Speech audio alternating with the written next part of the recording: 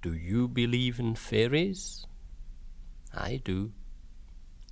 The Obliging Fairy.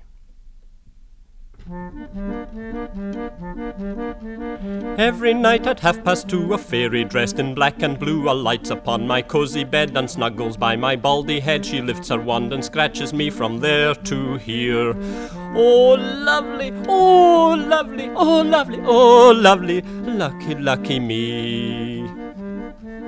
Where is there and where is here? I'll tell you. There is my left ear and here's the right. So now you know the fairy scratches to and fro. I love the way she scratches me from there to here.